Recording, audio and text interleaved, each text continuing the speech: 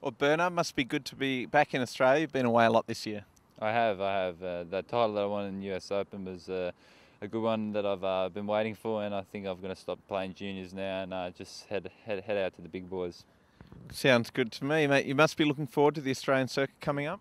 I am, I am. Uh, it's probably the the only thing I'm waiting for right now, and uh, hopefully when I get get to the chance, I can play well there. Have you set a schedule between now and then with tournaments? Uh, no, I think I've, I'm not going to be playing anything until Brisbane International, but that could change. I, uh, I'm going to have a few weeks off that I've had now, maybe a week more, and then get back into shape over the next four weeks and see how it goes there. You spent last week at the Gold Coast. Were you just cruise along the beach in your speedos, mate? Something similar to that, not quite, but no, it was fun. and how's the body feeling? I know you've been doing a lot of physical training this year.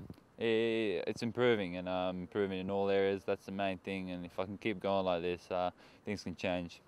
And obviously, winning the US Open Juniors must be great for your confidence. It is, it is, and it's my second Grand Slam now, the one in the juniors, and probably my last in the juniors. So I'm really happy that I can get out of it and just focus on the senior level. Are all juniors these days as tall as you? Uh, no, only the ones that play basketball.